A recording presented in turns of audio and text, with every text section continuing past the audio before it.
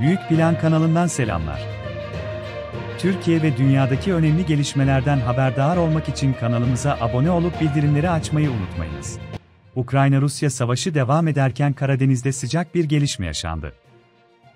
Amerika Birleşik Devletleri Avrupa Kuvvetleri Komutanlığı 2 Rus Su-27 uçağının, Karadeniz'de Amerika Birleşik Devletleri'ne ait MiG-9 insansız hava aracını taciz ettiğini, uçaklardan birinin çarptığı MiG-9'un uluslararası sulara düştüğünü duyurdu. Yukom'dan yapılan yazılı açıklamada, Rusya'ya ait iki Su-27 uçağının Karadeniz üzerinde Amerika Birleşik Devletleri Hava Kuvvetleri'ne bağlı MiG-9 istihbarat, gözlem ve keşif insansız hava aracına, profesyonel olmayan bir şekilde önleme yaptığı kaydedildi. Açıklamada, sabah saat 7.30 sularında Rus Su-27'lerinden biri MiG-9'un pervanesine çarptı. Amerika Birleşik Devletleri Kuvvetleri MEKU, 9'u Karadeniz'de uluslararası sulara düşürmek zorunda kaldı.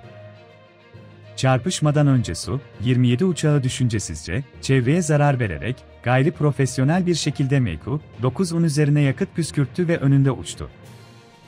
Bu olay güvensiz ve gayri profesyonelliğin yanı sıra beceriksizliğin göstergesidir, denildi. Bu olayın, Rus pilotlar tarafından gerçekleştirilen bir dizi tehlikeli eylemin devamı olduğuna işaret edilen açıklamada, bu davranışların tehlikeli olduğu ve yanlış hesaplamalara yol açabileceği kaydedildi.